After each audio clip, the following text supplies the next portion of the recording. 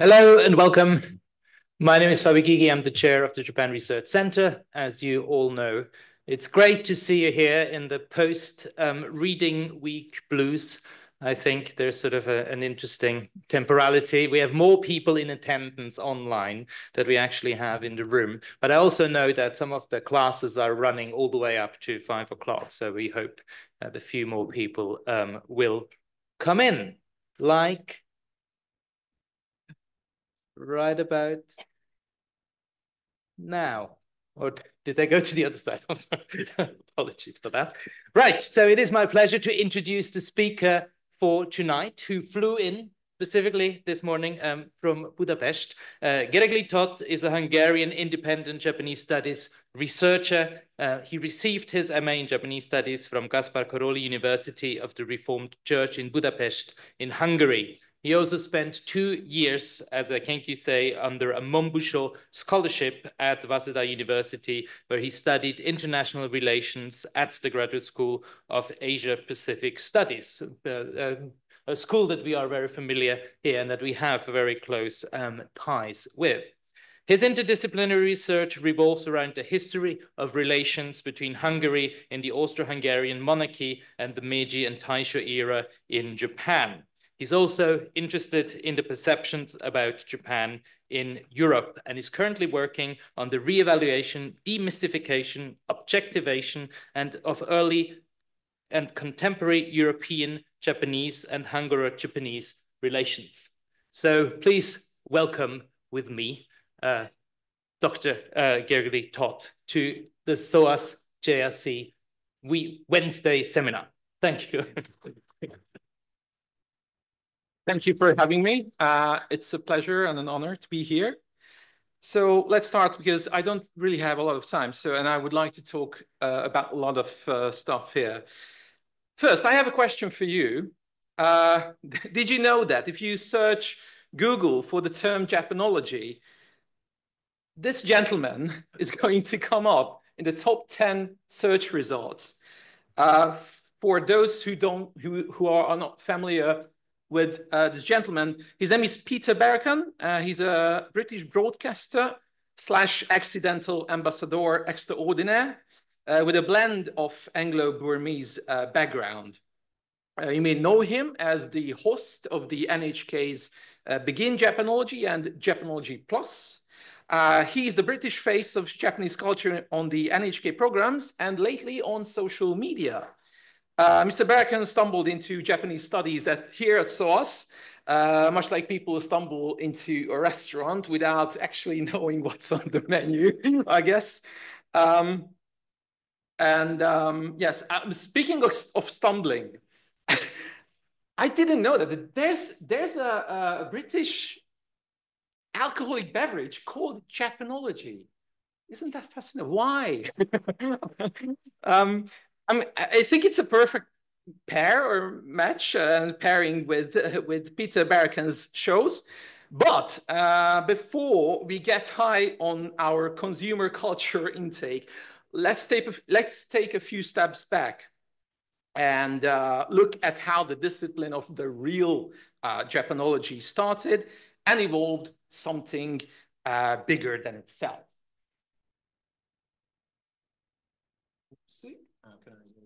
Okay, so uh, here you can see the main uh, themes uh, and uh, subjects I'm going to talk about.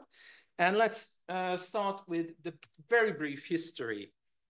So Japanology traces its origins uh, to the broader field of Oriental studies in Europe, which initially emerged from biblical scholarship focused on the Middle East. As the geographical and academic interest gradually shifted eastward, Sinology was established first, uh, with Japanology eventually developing on the fringes of Sinology as a kind of spin-off. Uh, Holland was the first European country where academic interest in Japan received attention in 1855. Uh, Holland was also the only European country to maintain trade relations with Japan during its period of isolation, and Leiden University was the first to establish a program in Japanology the first professional chair in Japanology at Leiden, uh, held by Johann Josef Hoffmann, was originally intended to cover both Chinese and Japanese studies. Following Holland, France took an interest in 1868, followed by England and Germany in the 1870s. The first International Congress of Orientalists, held in Paris in September 1873, marked a pivotal moment in the development of Oriental and Japanese studies. The conference, led by French scholar Léon de Rosny, a pioneer in Japanology, featured Japan as a central theme. Uniquely, the International Congress of Orientalists initially targeted industrialists, merchants, and diplomats, uh, in contrast to later congresses that would focus more on academic disciplines. A major accomplishment of this inaugural International Congress of Orientalists was the creation of transcription systems for Japanese and other non-Western languages using Roman alphabets. Uh, the conference uh, centered on four main objectives, all related to Japan's relationship with the West. The first was the establishment of Japanese transcription with Western characters. The second was a comparison of civilizations between Japan and the West. Uh, the third was a comparison of scientific achievements. Uh, and uh, fourth was fostering cooperation between Japanese and Western scientists.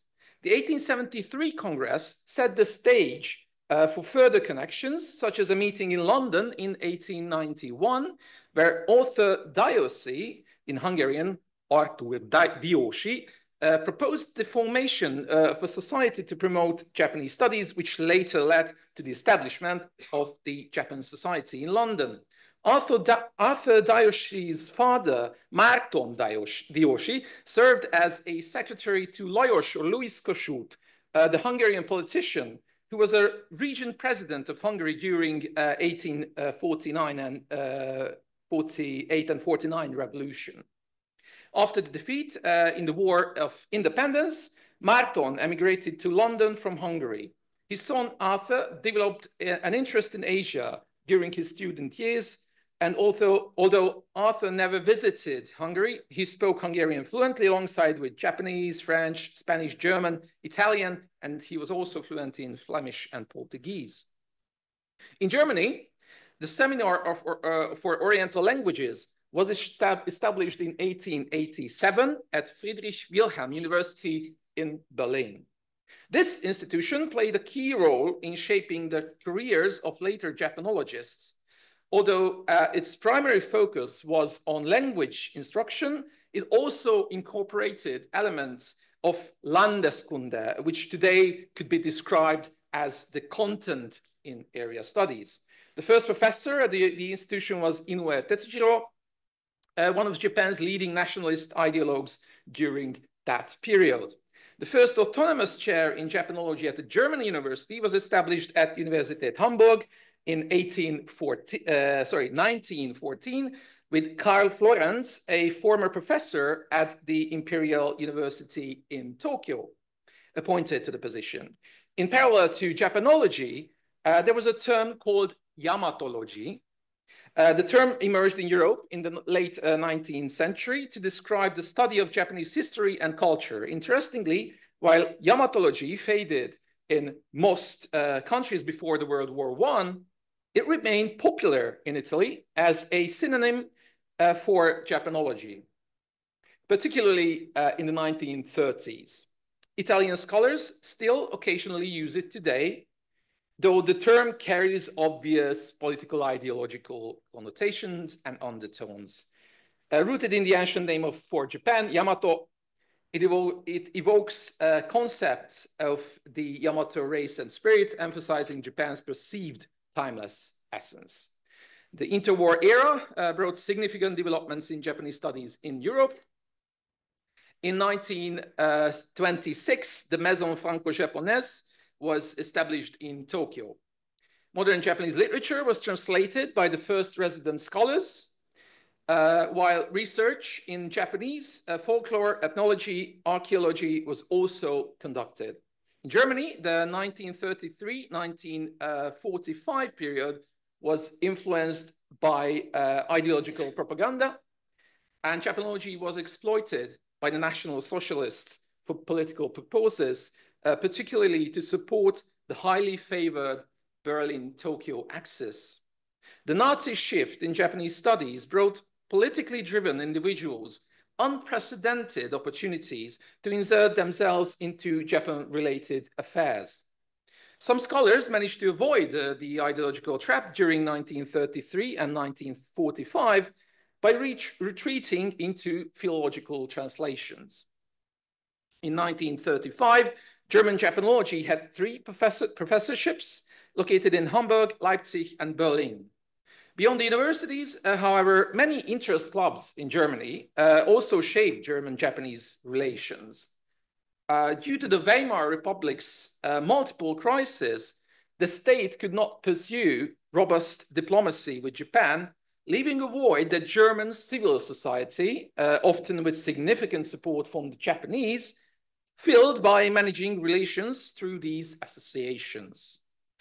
As German society became Nazified, leadership roles were increasingly filled by unqualified individuals, uh, and knowledge of Japan was politicized, and dogmatism and party loyalty was prioritized. In Britain, the network of Japanese studies scholar, scholars grew, with notable figures such as Sir Hugh Cortazzi and Sir Peter Parker. In Austria, the Japanology department remained one of the most influential departments at the University of Vienna, uh, uh, Japanology in Austria continued to develop uh, within the framework of ethnology with a strong anthropological focus uh, supported by fieldwork in Japan and close contact with Japanese institutions. The Japanology Institute in Vienna also had a patron financier from 1938, Baron Takaharu Mitsui. The Japanese industrialists, acting on behalf of the Japanese Foreign Ministry, sorry, approached countries friendly to Japan to promote uh, Japan-focused research in Vienna, Prague, and Rome. In the Soviet Union, scholarship was heavily influenced by Marxism. In Czechoslovakia, there was a strong focus of, on linguistics in Japanology. And in the USA, the study of Japan during the pre-war and immediate post-war periods was first driven by the need to understand the enemy and later by the goal of securing Japan as a reliable ally. World War II interrupted Japanology in all European countries, and it was not until the 1950s and later then Japanology was re-established at the universities, but with little changes in approach and outlook. The focus on Japanology rested uh, on language, linguistics, and translations of mainly medieval and modern literature in the 1960s, uh, two major directives uh, inspired and guided European studies of Japan, particularly in the field of fields of cultural and social disciplines. One emphasized the necessity of a dual approach, combining Japanology with, with another discipline and encouraging collaboration with neighboring fields. Uh, the, the, other directive uh, stressed the importance of a thorough command of Japanese sources, research, and orientations.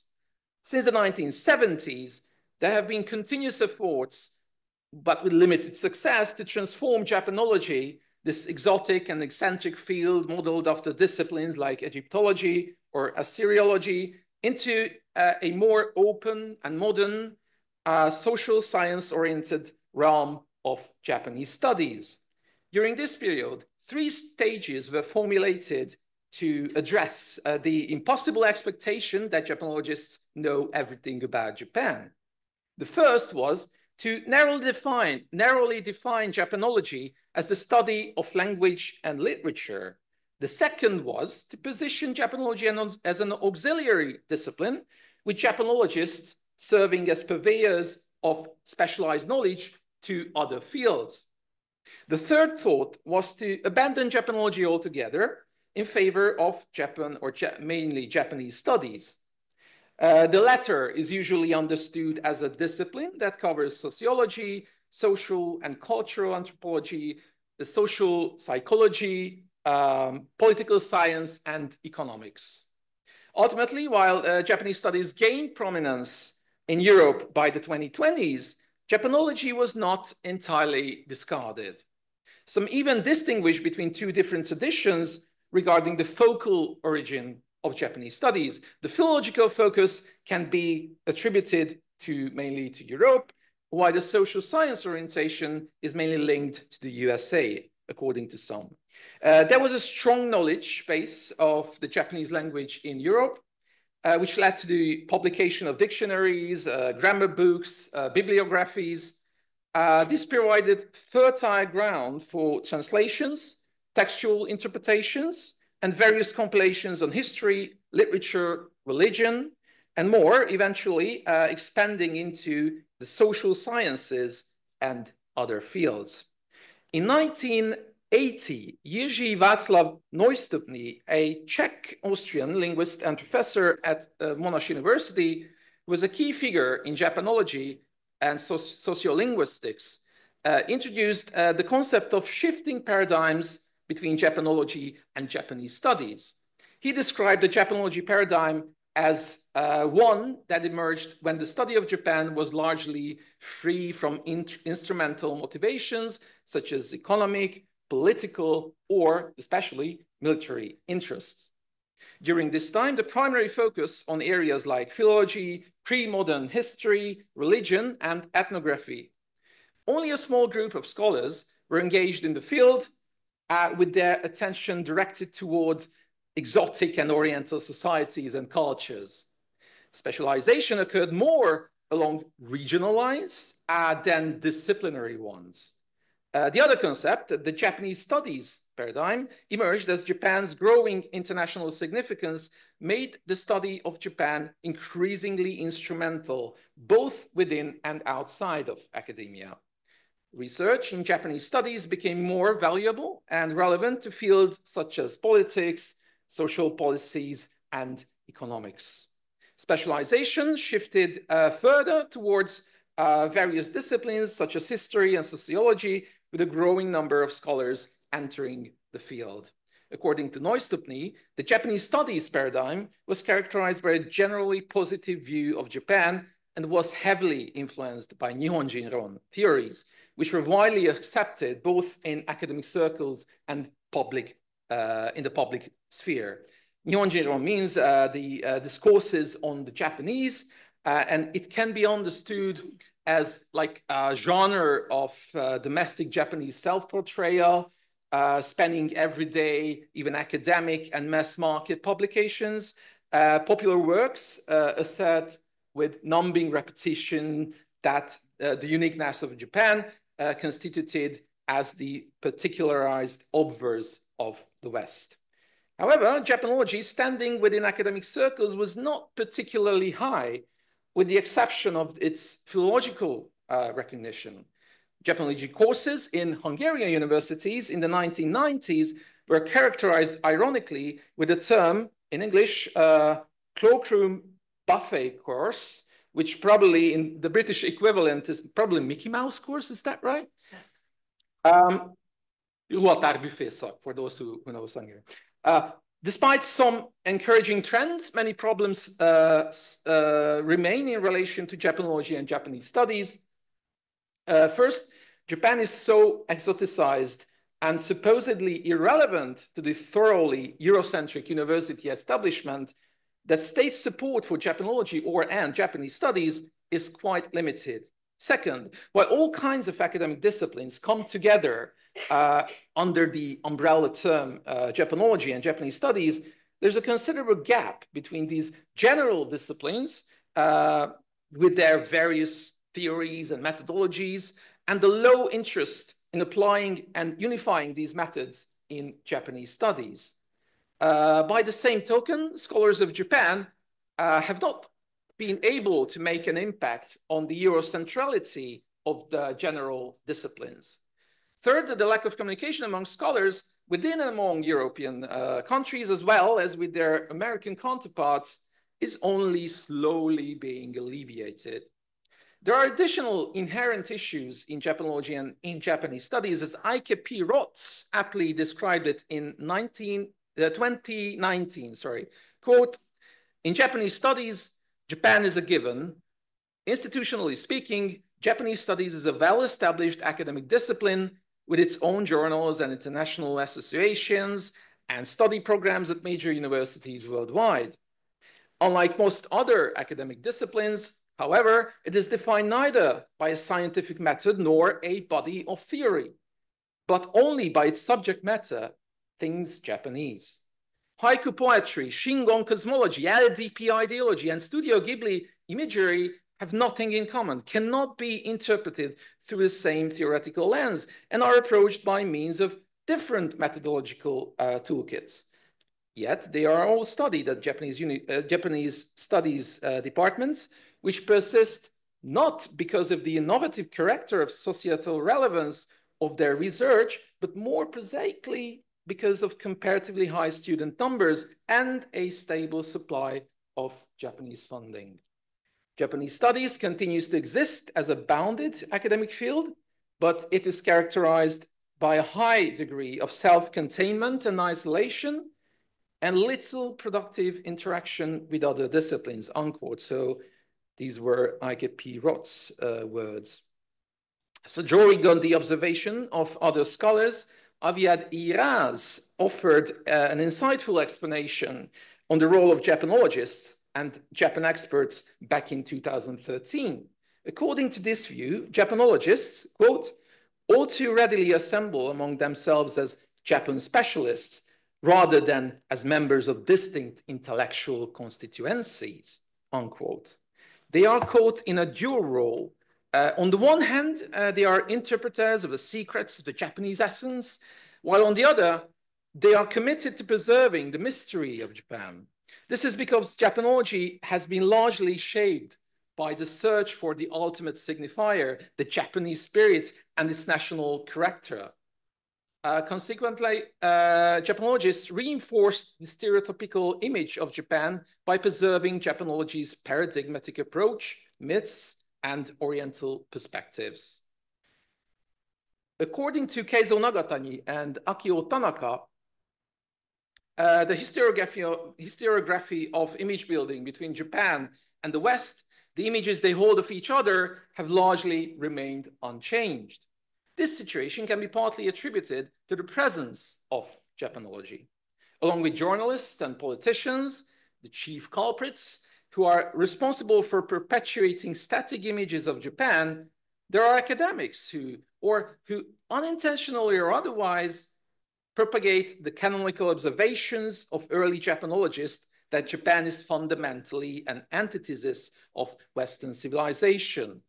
So in, the, in these Orient, Orientalist contributions of Japanology with the help of journalism and uh, politics, politics, Japan is attributed with qualities that are diametrically opposite of what supposedly characterized the West. Why the, while the West is conceived as muscular, rational, progressive, Japan remained feminine, emotional, and backward.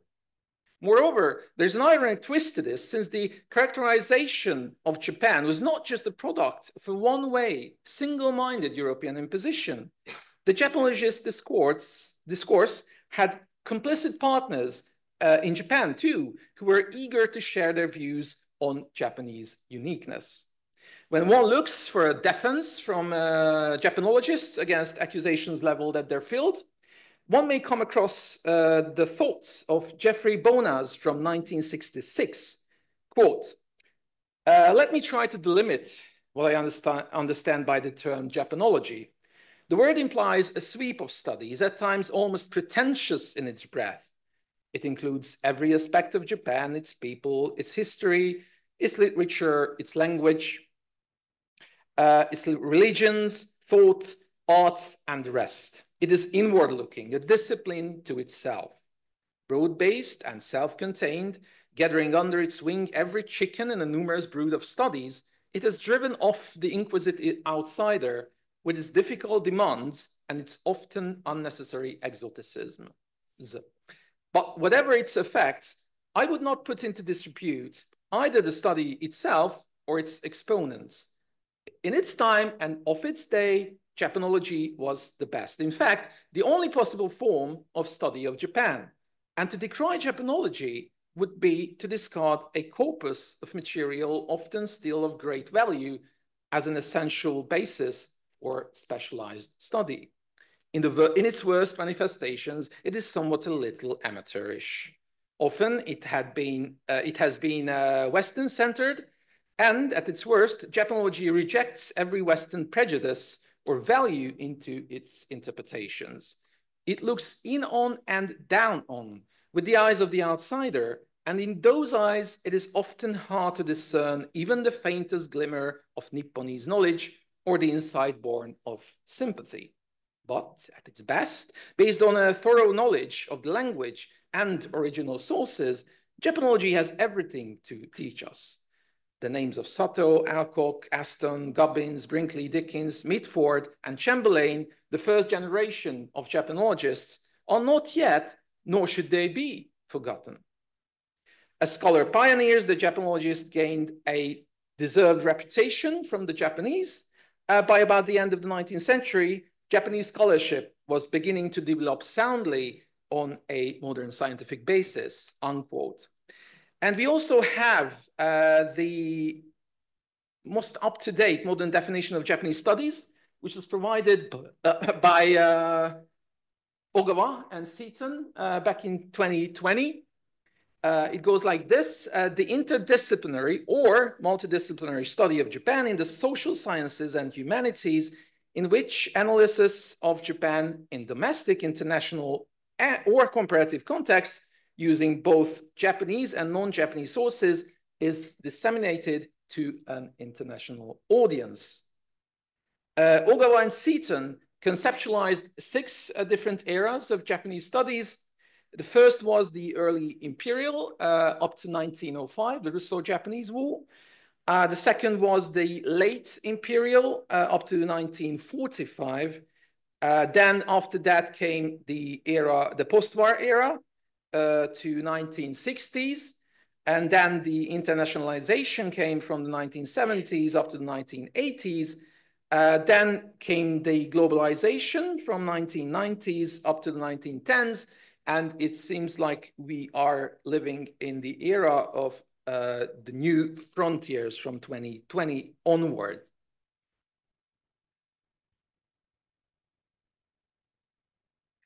Uh, in the second part, uh, I would like to present 14 points of criticism coming from a Dutch sinologist, Hans Kuijper. Although these criticisms are quite generic, targeting the whole area studies field, these can be applicable to Japanese studies at some points as well. So the first uh, criticism of Hans Kuijper is that country experts trespass on fields uh, of study belonging to social or other sciences with, which should not be tolerated. Uh, my personal view uh, is that such an accusatory tone is quite counterproductive, uh, but uh, interdisciplinary should be encouraged and not policed. Criticism number two, a country expert must have broad, deep, and organized knowledge in a specific field, and area studies lack this. Number three, Country experts need well-organized knowledge in multiple disciplines. Otherwise, uh, the, the limits of their knowledge, otherwise uh, they are merely repositories of uh, discrete facts. Uh, criticism number four, area experts should acknowledge uh, the limits of their knowledge uh, to avoid overstepping their expertise. I agree with this claim personally. Uh, acknowledging boundaries is ethical and can prevent uh, the imposter syndrome and Dunning-Kruger effect as well. So transparency about one's expertise uh, uh is uh, quite uh, vital for maintaining academic integrity. Criticism number five, scientific collaboration is required to comprehend the complexity of a country. Criticism number six, Country experts lack deep knowledge uh, in any discipline and are prone to escapism and obscurantism. Criticism number seven, fluency in a country's language does not equate uh, to scientific mastery. And indeed, personally, I think uh, language skills are alone, uh, alone do not qualify one as, as a country expert, but language fluency is important, uh, but it's insufficient without a strong disciplinary foundation. Uh, for a defense of Japanese studies in this regard, Alan Tansman argues that, quote, if area studies can be understood uh, as an enterprise seeking to know, analyze, and interpret foreign cultures through a multidisciplinary lens, translation may be the act par excellence of area studies. Unquote. Uh, let's move on to criticism number eight. Expertise can be measured by familiarity uh, with quantitative reasoning, mixed methods, and theoretical frameworks. Number nine, the lack of a tested country theory makes country studies fundamentally flawed and disqualifies area studies experts from being considered true scientists. Quite harsh words. Um, criticism number 10, Country experts are unreliable without citing their disciplinary sources and borrowed theories.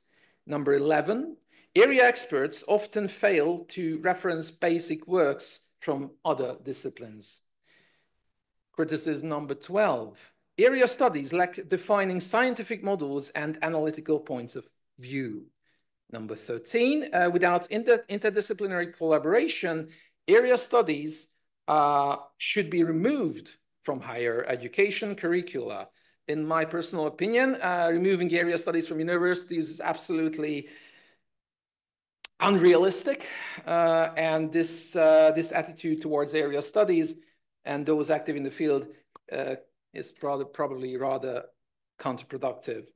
But actually, this is happening sometimes at, at some universities because I think the latest news from Leiden University is that they would uh, it was framed as axing Japanese studies, but basically what's happening at Leiden at the moment is that they merging Japanese studies with Korean studies and Chinese studies. But definitely there will be budget cuts and, uh, and probably professors will lose their job.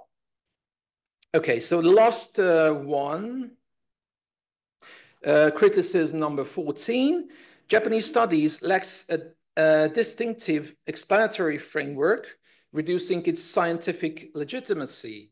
Without a distinctive explanatory framework of, or theory, Japanologists are not true scientists, according to uh, Hans Kuijper.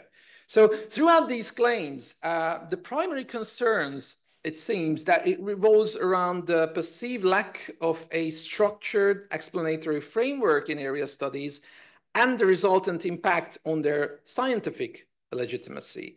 While I personally uh, find some criticism quite valid, others reflect an elitist or probably paternalistic stance from traditional scientific uh, disciplines, emphasizing interdisciplinarity, uh, collaboration, transparency, and the development of uh, rigorous uh, theoretical and ethical frameworks can address many of these concerns uh, fostering a more inclusive and dynamic academic uh, environment. So if we move on uh, to the critical voices about Japanese studies specifically, the claims with which I fully agree with can be summarized uh, in four main points. Sorry. According to Ioannis Gaitanidis, number one, nation centrism that risks a, politi a politically equaling nation to culture.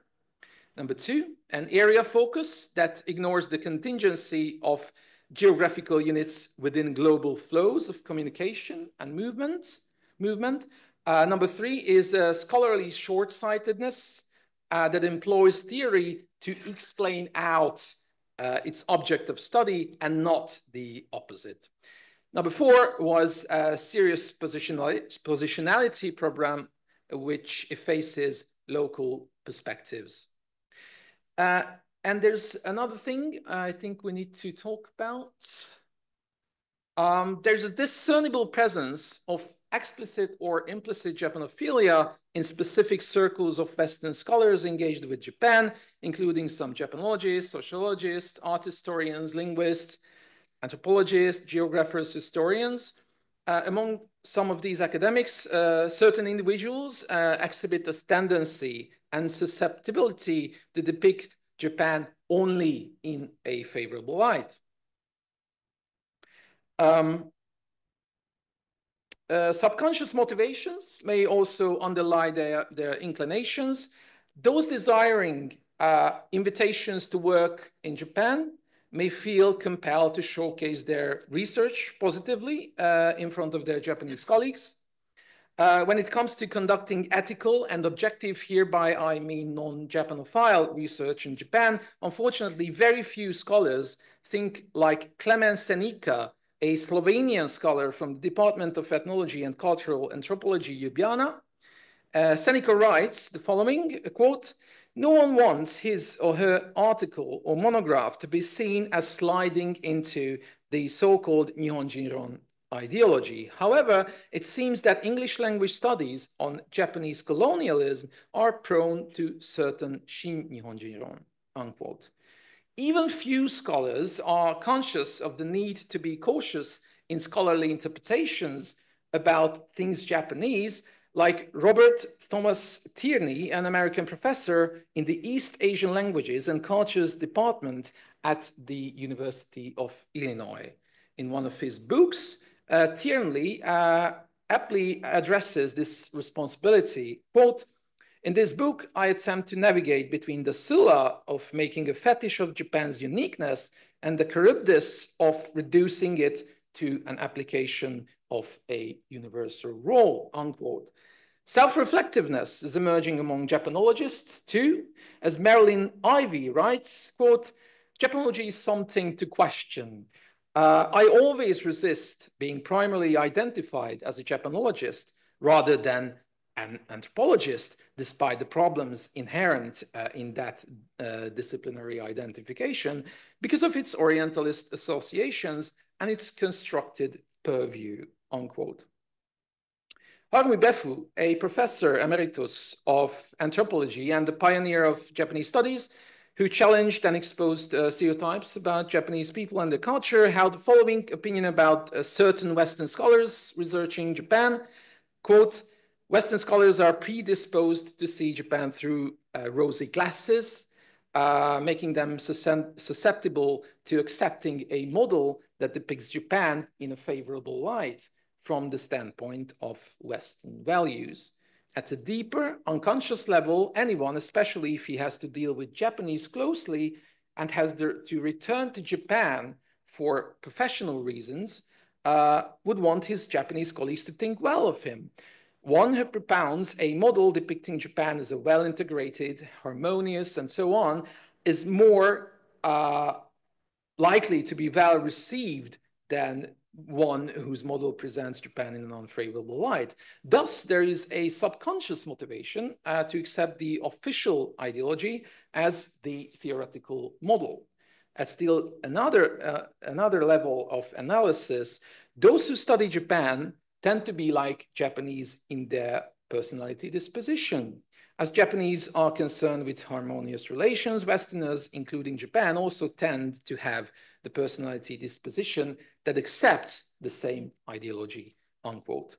So from the early 1990s, numerous scholars, including Harumi Befu himself, began to uh, turning their attention to the inher inherent Japanophilia in Japanese studies uh, and sought to expose the lack of self-reflexivity in the field.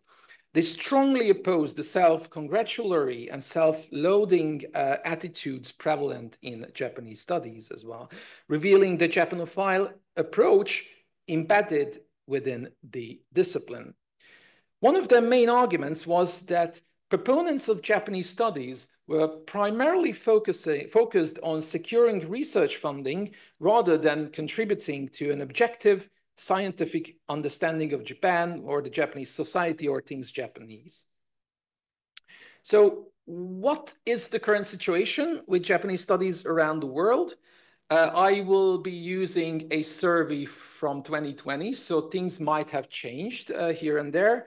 But basically, I think the, the basis uh, is still true. So um, the number of Japanese uh, number of students in the field of Japanology uh, is on the rise. For example, in Hungary, in the country I'm coming from. As a result, Hungarian universities are tailoring their Japanology or Japanese studies programs to prospective students. Albeit uh, with an unfavorable consequence of weeb or Japanophile incubation. A weeb is a term uh, widely used in social media and in internet-based uh, discourses, both as a derogatory term and for for in-group self-identification for a non-Japanese person who is so obsessed with Japanese culture that they wish they were actually Japanese. Uh, all of this is due to the undeniable fact uh, that the majority of applicants in Hungary are passionate and conditioned Japanophiles and ardent consumers of Japanese or other East uh, Asian pop culture. Uh, by enticing these young students into Japanese or East Asian, Asian studies programs, Hungarian universities uh, can significantly bolster their uh, income. This has led Hungarian Japanology departments to adopt a so-called customer service model where both students and the foreign government-related institutions providing support are treated as customers. In this model, the customers must get, be kept amused and happy uh, for the univers university to profit, However, this shift brings inevitable consequences. Uh, it signals the decline. I think it signals the decline of universities, or at least the stupor of their financially successful limbs. I mean, the Jap Japanese, the Korean, and the Chinese studies uh, departments in Hungary. As a result, uh, this leads to a serious degradation of incentives to prioritize academic accuracy, reason, critical inquiry, and academic freedom. As for the US, enrollment in various Japanese language source, uh, courses at universities is quite popular, and it looks like in recent years, more American students are learning Japanese than Chinese and Korean combined. However, the situation regarding the level of popularity of Japanese studies may, might be a different story in the States. Some say that the field is declining as a subject in tandem with the downturn in the Japanese economy in a panel titled The Death of Japanese Studies at the 2019 Association of Asian Studies meeting in Denver, Colorado, a discussion was held on shrinking departments, the lack of tenure track lines, reduced interest in the Japanese language, and the competition from Chinese and Korean studies. So if you take a look uh, at the situation in Australia, Japanese language and culture courses were offered in more than 20 universities in 2020. And the past 20 years have seen stability in terms of growing enrollments in Japanese language and culture courses. However, there's an imbalance between the high number of students taking one or two Japanese language courses uh, and, uh, and the relatively low number of students doing a full major in Australia. In contrast, the situation in, uh, of Japanese studies in the UK, according to this uh, survey, is quite strong uh, or was quite strong in 2020 uh, or up to 2020 uh, relative to a lot of other European countries and to the US. In terms of undergraduate student numbers, there are about 500 students that start a BA course involving some Japan-related elements in the UK every year, uh, whether as a major or some kind of minor element. And that number has stayed fairly strong. However, it seems that the shape of Japanese studies in the UK is similarly changing. One example is the decline uh, in the number of Japan study centers in the UK universities. According, uh, another noteworthy change is that the number of master's students has begun to steadily decline. I don't know what the situation at the moment is, and I would like to ask you, uh, what is your opinion on this later on? So uh, in Germany, uh, the interest in Japan as a subject of research is very strong, but at the same time, Japanese studies have taken a different form from previous area studies. Uh, rather, rather than Japan itself being the sole focus of study, the country is treated as a case study and research is conducted including an Asia-focused transnational perspective where Japan studies centers are integrated into bigger uh, Asia-focused uh, departments. In Spain, Japanese studies began with a delay, but over the past three decades, it, was, uh, it has made significant progress within uh, universities. Presently, eight universities provide programs focused on East Asian studies including Japanese studies, with an equivalent number uh, engaged in research projects. The field has extended uh, its research, its, its reach uh, from humanities to social sciences, spanning various research groups, centers, and universities. Nevertheless, the sustainability of Japanese studies faces challenges uh, due to concerns about institutional support and funding in the future, especially in Spain.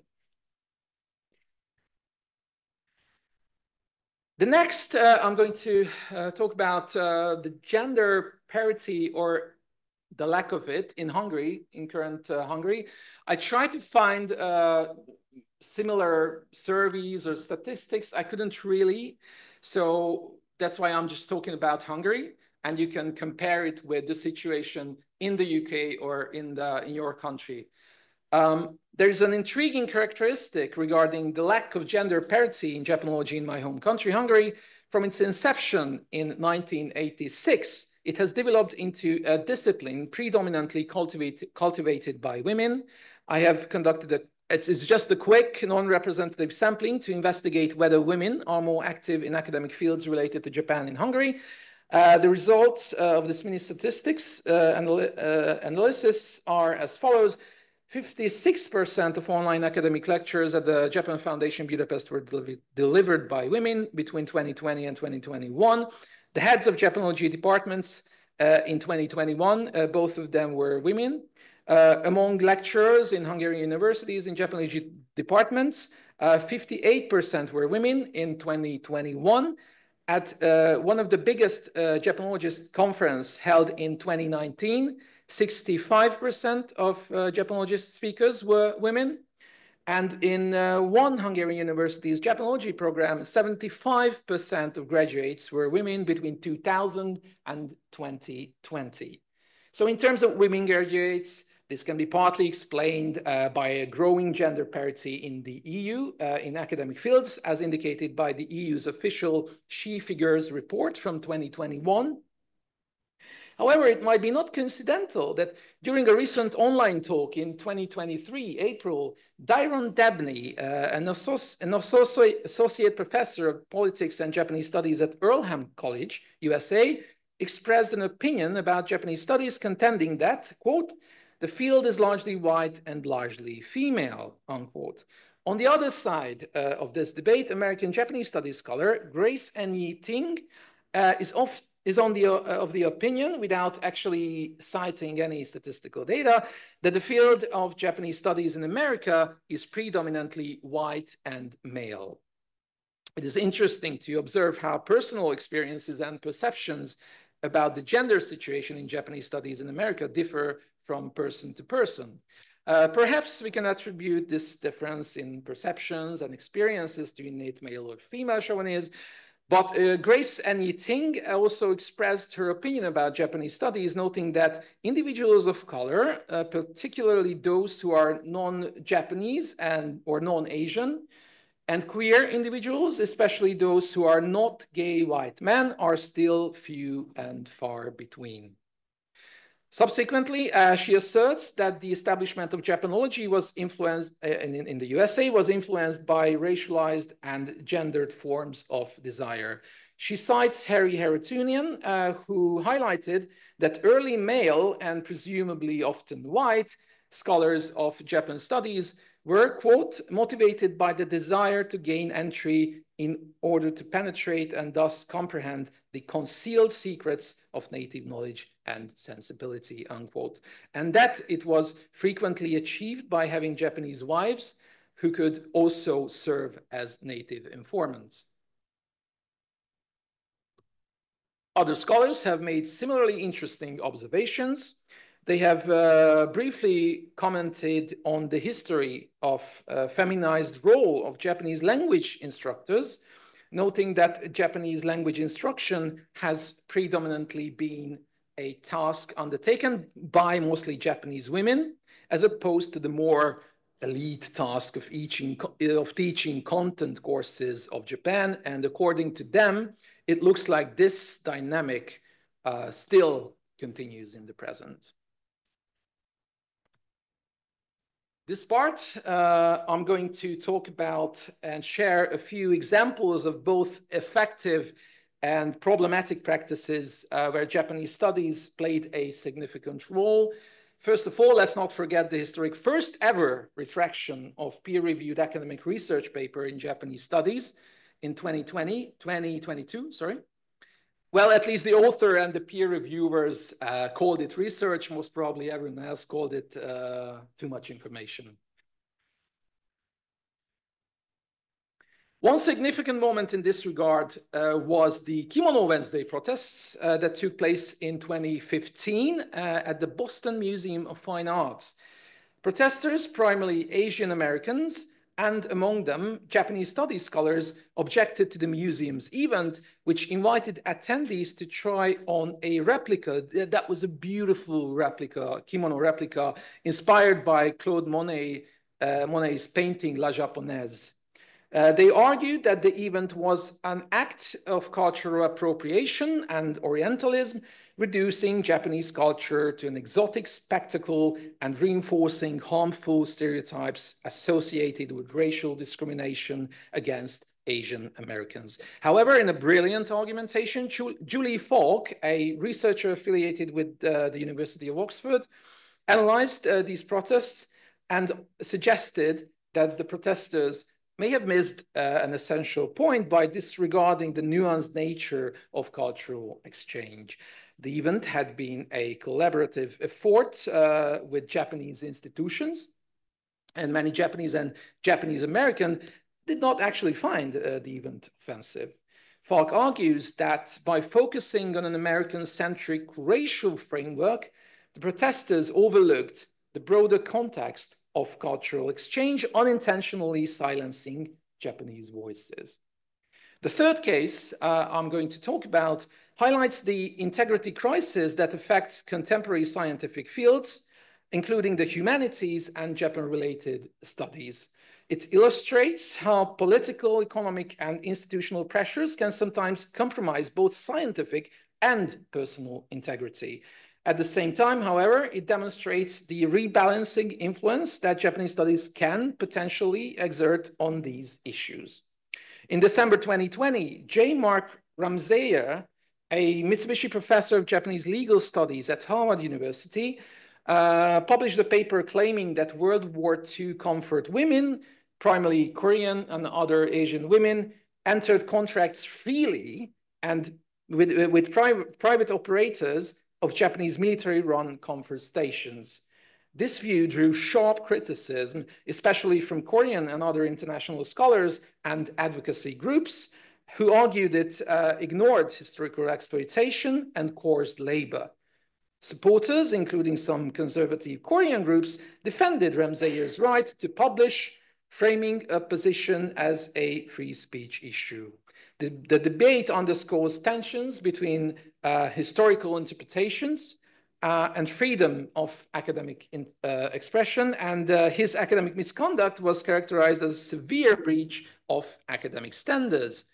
In her study, be beautiful and brilliant study aid, Tessa Morris-Suzuki, an Australian historian of modern Japan, uh, criticized uh, Ramseyer's article, highlighting multiple flaws in its research integrity. She questioned Ramseyer's use of sources, noting that he often omits evidence uh, that contradicts his claims and misrepresents data, casting doubt on his conclusions about World War II comfort women. Uh, Tessa Morris-Suzuki emphasized that his uh, interpretation lacks a foundation in historical documentation, particularly since he fails to provide actual uh, contract evidence and neglects testimonies showing that many women were actually deceived, coerced, or uh, actually trafficked into uh, this service. She called uh, for higher standards of research integrity and transparency in historical studies. And to end my presentation on a positive note, uh, I would like to say a few words about the project that, uh, in my opinion, represents the most modern approach to applying Japanese studies in actual practice. Japan Lab at the University of Texas at Austin combines Japanese studies with digital humanities by engaging students in, create, uh, in creating Japan-focused digital content, such as educational uh, video games. Uh, these resources are designed to make Japanese history, literature, and culture more accessible for global high school and, uh, sorry, for global high school and college educators. This initiative responds to increasing demand for digital teaching, uh, digital teaching tools, especially uh, in the post-pandemic. By merging Japanese studies with technology, they actually have an actual lab there, uh, an IT lab. Uh, their projects uh, appeal to modern educational needs and enhance uh, learning through an immersive and hands-on approach. My personal favorite in this, you can check out their pages. It's absolutely great if you didn't know. Uh, my personal uh, favorite is uh, called Ready, Set, Yokohama, which is an online game based on uh, Sugoroku. Uh, it's a Japanese board game. And this game lets players explore Meiji-era Yokohama, highlighting Japan's transformation as it entered globalized trade uh, network.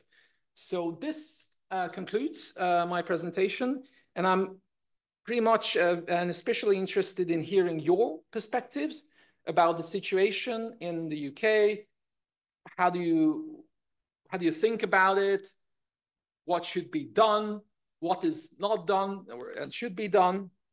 And uh, I would like to hear a few words from you, uh, actually from the current state of future Japanese study, for the, for the future of Japanese studies, not just in the UK, but uh, in a global sense. And if you are interested in, uh, in uh, the footnotes of this paper, I'm actually working on a book project, book project that, uh, that the main aim of this book, book project is to to introduce uh, Hungarian-Japanese early relations before, before the World War One in a global historical uh, uh, sense and in a global, glo and uh, I'm actually exploring it uh, globally. So there will be a lot of other uh, countries included in this. And this is actually the, the status of Japanese studies is, is a short part of uh, the perception of, of, of, a chapter about the perception of Japan in Europe and in Hungary. So thank you for listening and thank you for coming. So this is, I really wanted more people from the department to be here because this would be an excellent opportunity to think about what has happened over the last few years here at SOAS because we had very similar debates. So our previous oh. director, um, Baroness Valerie Amos, was very much of the mind that area studies had come to an end and that we now, that in a few years time, uh, every student will just study global liberal arts. And the idea was, and actually one of our colleagues in Japanese studies, uh, Dr. Angus Lockyer was sort of tasked with that idea to, you know, create uh, um, essentially sort of a pick and mix type degree. So you could um, you could sign up um, for an MA, for example, or a BA in Global Liberal Arts, and you could pick from the 500 courses that are on offer. You could okay. and and then put it together in any which way. Okay. Obviously, this well, it may appeal to some people, but you know, what do you end up with? And it's exactly the same question. question. What is the yeah. disciplinary background? Are you just, you know, you have just a huge sort of compendium of different kind of knowledge that doesn't really fit together. Yeah.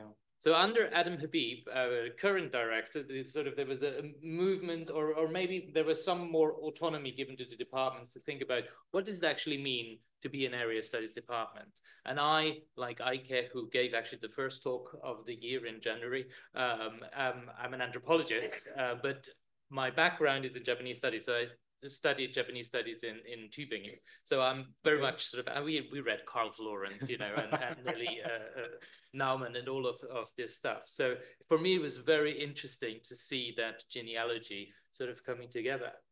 But yes, let, let's hear, let's hear from the room. I mean, what is, what is our current approach to the idea of the area um, here at SOAS? We are an area study school. That was the idea to begin with um, and that has obviously colonial background and a colonial undertone.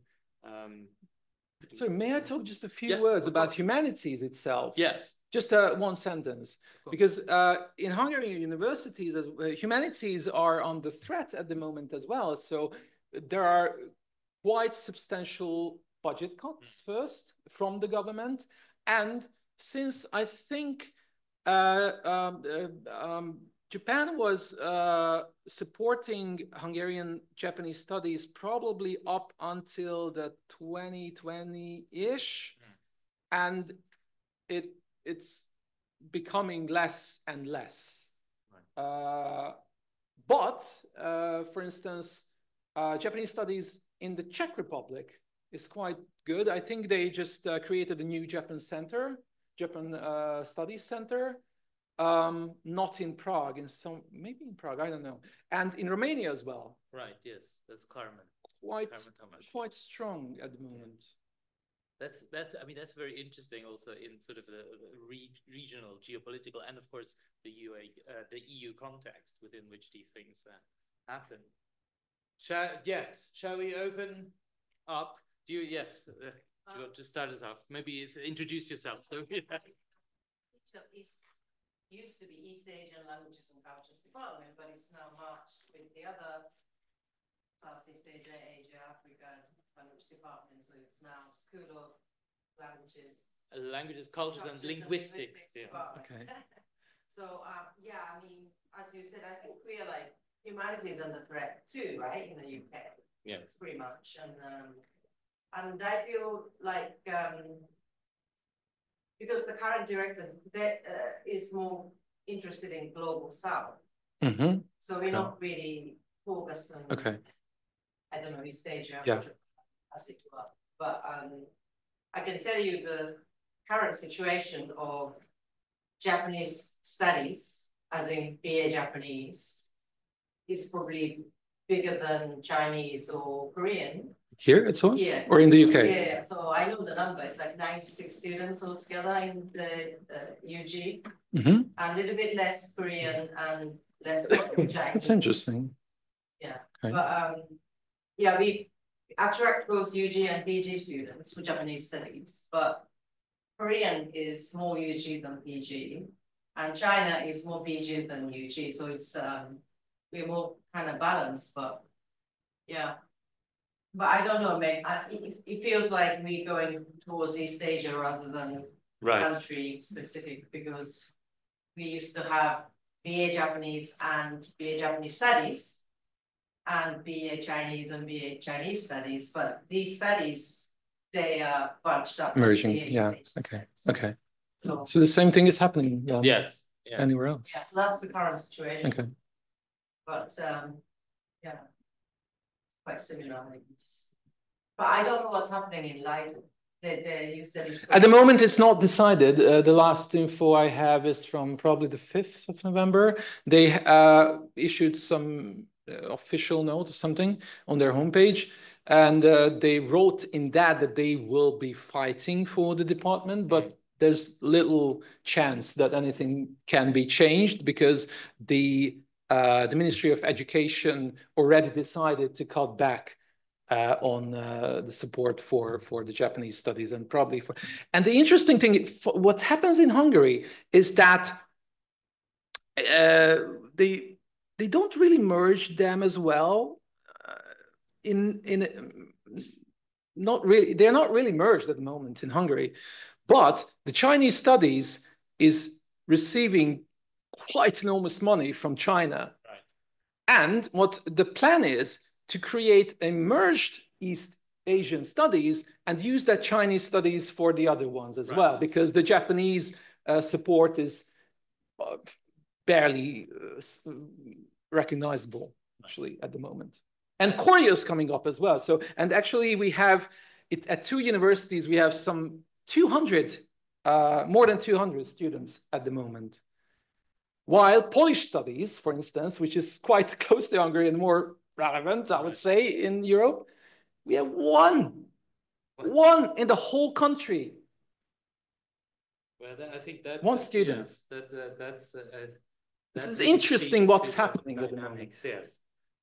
I mean, does anybody else want to comment on that? I mean, I, I have obviously lots um, to say um, because we at SOAS, we we we fought off the challenge. There was an attempt a few years ago under uh, Andrea Cornwall to put everything together under an East Asian okay. um, sort of East Asian Studies department um, under the direction of the China Institute. Mm -hmm. China so that's yes, that's what's happening at the moment. Obviously, we said that's a terrible idea because our funding is also depending on Japanese sources, and they probably wouldn't be very happy to, you know, if we said, oh, you're now funding an East Asia department under. But the other problem is that the East, uh, the, the China Institute at SOAS is actually, I think I can say this um, here, is is uh, quite um, it's it's it's not getting any funding from China mostly from Hong Kong because the, the director oh, okay, has taken a very uh -huh. sort of a critical line of oh, China. So it, it, it, it's which is very good yeah. for us, but it doesn't work. So all the money goes to Sheffield, where uh, Chinese um, you know investment uh, in academic courses is extremely strong. And so the oh, okay. Sheffield is actually now larger in terms of um, you know uh, student and the concentration of academics in the East Asian uh, side, larger than SOAS. You know, expanding. it's expanding rapidly, but it only works through that. While on the other hand, and this is the problem with the global south um, focus, is that essentially if we go to senior management and say, well, we want, you know, we want to have a stronger focus uh, on East Asia, on Japan. Uh, the argument is always, oh, but these are rich regions. So you just go and fundraise. Mm -hmm, and if you mm-hmm. fundraise enough money, then we'll give you whatever you want. But you have to mm-hmm. bring in the money yourself. Yeah. So we are trying to do that with you know it's, hard work. And also very unacademic work. And uh, it's, it's quite you know if you don't have in, in American universities you have specialist people to do mm -hmm. that. And apparently it's all it's a kind of a grasp of the elbow. So you're at the reception you have the academics talk how great everything is. And then somebody grabs you by the elbow very gently and sort of leads you away into separate rooms. Say, here are the different options. You can donate 1 million or 10 million, and that, that's we, we name a building, we name a school after you, and so on and so forth. We have none of that. So, so maybe that's, um, yes, a future uh, career. Um, yes, if you're thinking but, of For instance, Sainsbury is quite, quite strong, uh, no? Well, the Sainsbury Institute is um, at, is uh, used to be uh, here partly. It's now in Norwich. Um, it's affiliated with the UEA, and the UEA just yeah. cut down a massive part oh, of their Japan okay. Japanese studies program. SISJAC is still doing okay, but the again that's the problem if you you know relying on on sort of uh, on and and and the endowment of course is going strong. Sainsbury's the supermarket Sainsbury's um, but the, the, the, the, the successors, both Lord and Lady Sainsbury have passed away recently and the children are not interested in Japan. So they probably leave things as they are.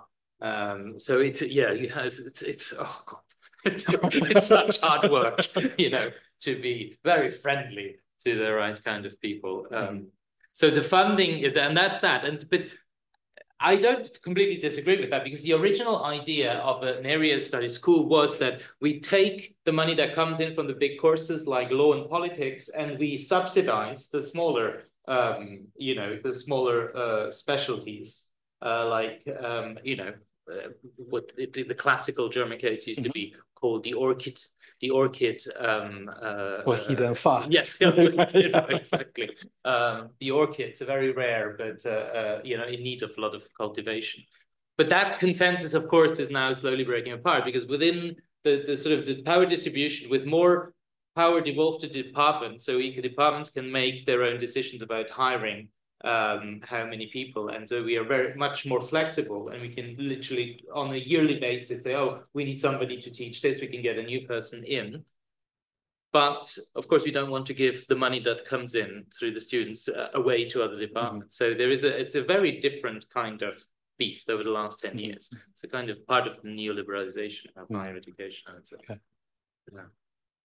Yeah, sure. But uh, anybody else has particularly strong opinions on this? Or what, what about the Japanese case uh, compared to but I think um, uh, as um, Dr. Suzuki said, the uh, liberal uh, humanity itself is quite struggling in Japan as well. Mm -hmm. And I think um, I'm not so sure, but otherwise, um, otherwise, but I think um, it's quite interesting movement in Japan as well. I think um, say 10 years ago, there were not a kind of Japanese study department in the university in uh -huh. Japan. But I think yeah. now, I think several university now um, realize the we have, I mean, Japan society as a whole have to have a Japanese studies in Japanese society, Japanese universities. I think yes. there are some national university as well as the private university got one. But I think that it's kind of movement is mm -hmm. now I'm listening to your stories and that it's a kind of, you know, a little bit, how can I say, uh, behind the uh, trend because I think now um, everything is changing globally, but not in Japan. So I think it's. But uh, sorry, even in Japan, there's there's two new global Japanese Studies Consortium or something like that. Uh, probably, yeah. So it's uh, gaining some kind of attraction, I uh, I would say. Global Japanese Studies. There are there's one consortium and there's a there's a new uh, inter-university kind of I don't know if it's an institution or something, but uh, there's uh, it's called yeah yeah I think yeah yeah probably uh, th that's probably was one a few years ago, I think. Yes. I, I think, I mean, the, the other thing, and that's because you mentioned Sir Peter Parker, and we just had last week the Sir Peter Parker Award for Spoken yeah. Business Japanese, and Sir Hugh Cortazzi.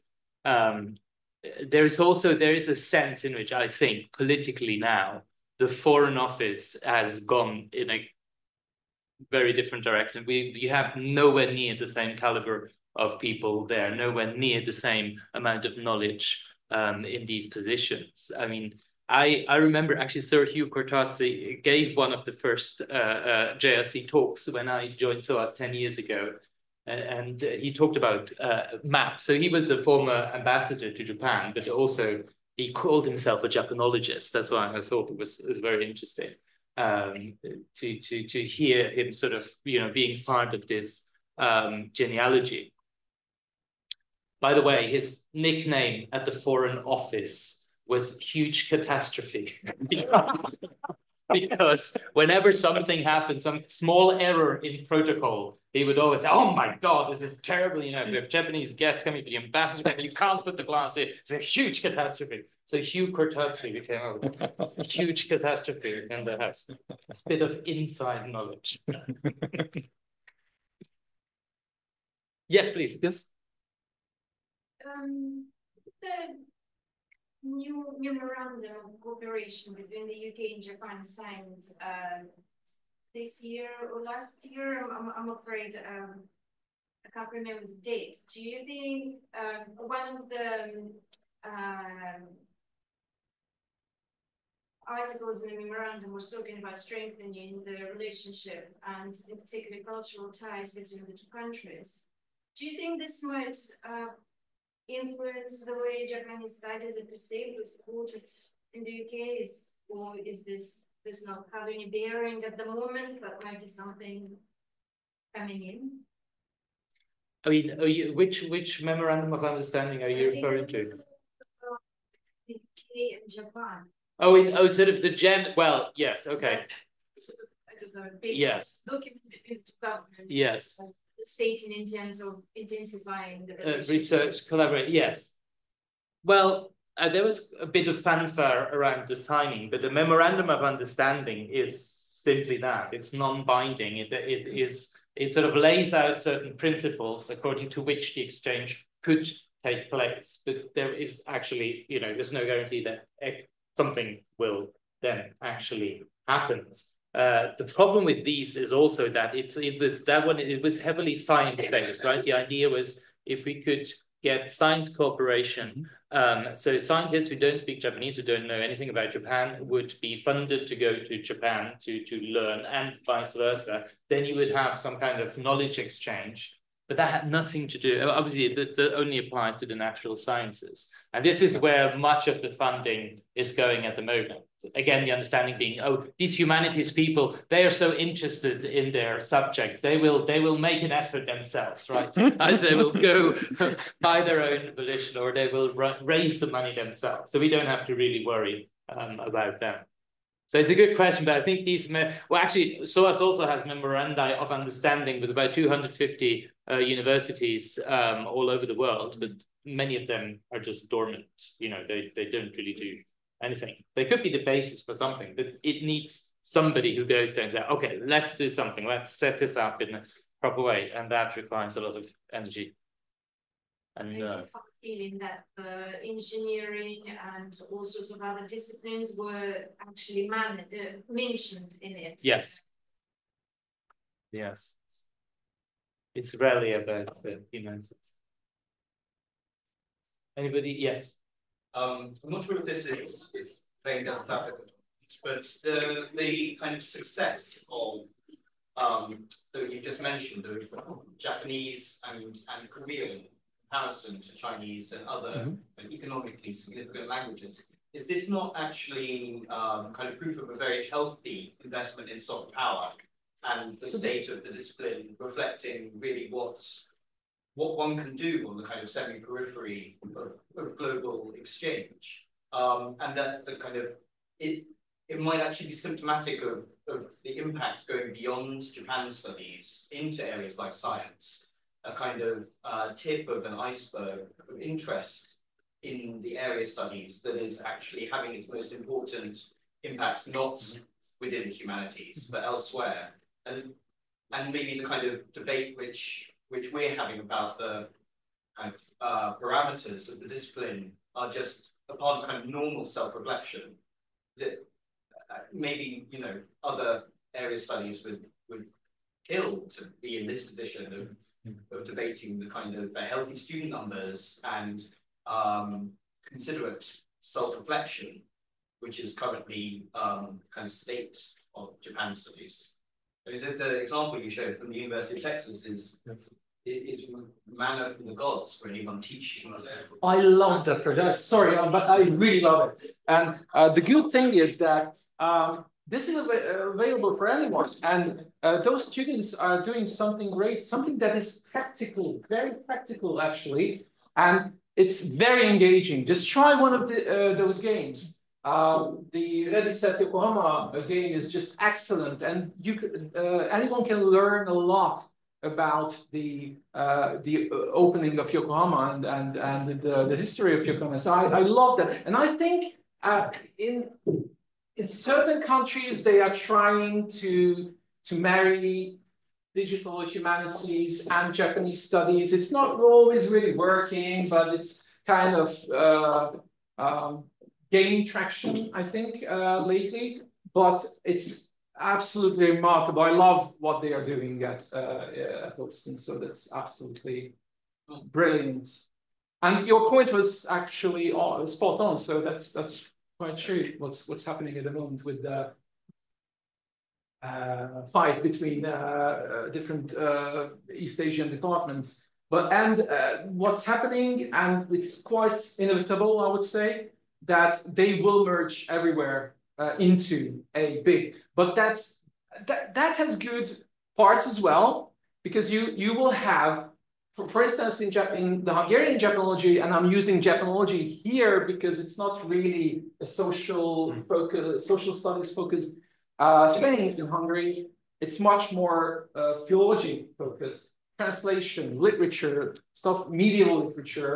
Haiku is quite big in Hungary at the right. moment, and. Uh, and uh, what's happening is that what happened in Hungary, that they were not really seeing what their sinologists, uh, sinologist uh, colleagues are doing, what the Koreanologists are doing. What, what, what is going on at the moment in Chinese studies? They didn't know anything about that. And it was just a door next to them, you know. And it requires these departments to work more closer right. together, which is good right. in itself. Which would follow from the critique of the silo, you know, yes. mentality that you often have. Yes. Yes. Thank you. Um, apologies if this is somewhat combative, my question. Um, I'm a bit of an imposter here, so I'm not a student here. I'm here okay. as interest. Um, I am a government official. This comes back to your question about, or your question about foreign office and the people who take those roles. Um, I myself am not a diplomat. Uh, I'm a policy advisor and strategist at Bronte, uh, advise ministers on legislation. Okay. Um, I previously though worked uh, advising Japan on the restart of international travel during the COVID uh, pandemic. I was the person who negotiated with them the bilateral agreement to restart travel.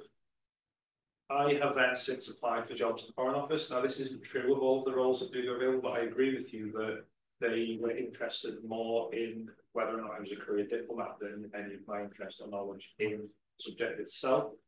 And then further to that, I've since lived in Japan, and the majority of people I know that live there and still do live there, they don't go there through Japan studies or technology. They tend to be software engineers, engineers, mm -hmm. which I myself, yeah. or they will work in some sort of very specific science, yeah. or they will just have a language skill. So my question is, does your field of study and academia as a whole have more of a responsibility really trying to sell what Japan Studies does offer? Because in all honesty, I, as an outsider from industry, for about term, I only know where it is because I have an interest in it. And I think there's skills that industry could use that are really good that people who study this have. We just don't really know what it is. Yes, that's a good that's a good one. Uh, I would say it's hard because I'm only uh, I I have knowledge about Hungary. I don't know the situation in the UK, but what happens in Hungary that it's basically manga anonymous studies. Right. And I'm not against it. I just don't really understand what they are doing. And the other thing is that this is definitely not something that the industry, any kind of industry would want. And um, yeah, I don't know what's happening uh, in the UK or in the USA at the moment. In the USA, actually, actually, uh, the situation might be quite different because in the UK you had um, language officers, military language officers, and they who were actually used in uh, during the the war. And the same is true uh, for for the US. But in Hungary, it was a totally different uh, thing. And um, yeah, um, so that's why I, I don't really think the more you're going eastward in Europe, the less relevance it will have for the industry. There will be, of course, there will be uh, specialists who like uh, go into one uh, special direction and they they do the the Japanese studies course uh, or they do an MA or a PhD in Japanese studies in Hungary or outside of Hungary as a Hungarian. There are a lot of Hungarians uh, probably at Oxford and and and in Cambridge. But uh, yeah, so I, I I'm not really sure. If if I look at Hungary, I don't really see how how these uh, Japanologists uh, could be of any use for any type of industry. Maybe, maybe the pop in the pop cult industry. I don't know. I don't know. Well, yes, we have avoided going down that route, although actually, sorry, you know. That's a bit an idea, Yes. Well, we, we the, the idea, actually, you know, uh, the outgoing uh, professor of art history actually suggested that at the end, saying, well, just get somebody young in to teach anime and manga, make it really big courses, very popular. And then we in the background can offer our normal, you know, small size, um, specialized teaching about the atonal qualities of the 16th century music and, you know, uh, go on about the obscurantism, yes, uh, very niche things. Um, and that, I think that's one way of thinking about it. So following the popularity down to its um, logical conclusion. Um, we do have courses on popular culture, which are very popular, um, but they're not they're not quite that yet. The danger of that, of course, is also that you know things can change very quickly, and what although I mean the the the, the anime contingent is quite significant. Yeah, I mean, my students, fourth students, advanced Japanese, say they get into Japanese studies because of um, Majoris. Right. There's also a generational thing, right? There Yeah, used to be yeah, the of tea course, ceremony yeah. people, then used to be the martial arts people, and now you have the anime manga people. They all have very different ideas and very different sort of needs, perhaps. So it's quite interesting uh, to follow these different But generations. let's say martial arts, it can be used in military, you know, Well, for battles and stuff. Like, it could actually be But more, more. I'm sorry. than- more anime than manga, right? Even even even that. Yeah. In Hungary, there's a little change. There's a paradigm shift, kind of, because uh, now I think uh, K-pop and Ah. Chinese pop culture is getting more, gaining more traction, while the the J-pop is not that Right. uh, popular uh, at at the moment, as it looks like. Right. So yes, that would be the danger. If you're too reactive to what's just, you know, um, happening at the moment, of course, that's also quite risky. I think the first chair of professorship for anime, and manga studies started just one or two years ago. I think it was where, where was it in Canada It's a, it's a, yeah, I think so. I- or in the US? It I think it was in In Canada. Canada, yes, I think it was immediately Yeah. attacked as the, the ultimate Mickey Mouse degree. Yes. Right, okay, well, thank you very much. We've Thank come you. to the end of our time. Uh, thank you for joining us. Um, please give a round of applause. Thank you. Thank you so much. Please please talk to the people online. I'm so sorry for those attending online. Um, I completely um forgot uh, uh, to talk to you. Uh, thank you for attending. Um, please come back in two weeks' time where we're talking about the de-whitening of international education in Japan, uh, talked by uh, Dr. Akira Shah. Um, and then we have one more event with Abigail McLean um, on the eye-opening ceremony of the great uh, Buddha uh, at the Todaiji. So something more uh, international education followed by something very Christmassy, I would think, uh, more ritual and music and performance. So thank you very much for coming and